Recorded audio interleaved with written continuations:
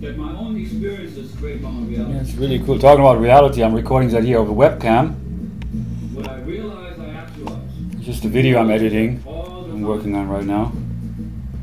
What we focus on creates our reality. it's slowing down a little bit. But anyway, here we are, right here, right now. And I just, I just uh, did a couple of recordings on, on blog uh, TV. And I uploaded a video on YouTube. And uh, I did also a brief broadcast on Blog Talk Radio, which is really amazing. You know, all these tools that are available to basically, uh, what's really the point here? Let's talk about that here for a minute is to see yourself more clearly, is to be more clear.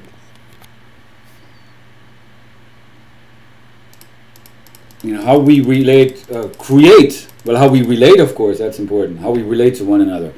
And how through this we create reality, what that really is reality, which is ultimately about what we create through what we experience. And that awareness is really at the foundation of realize to actualize.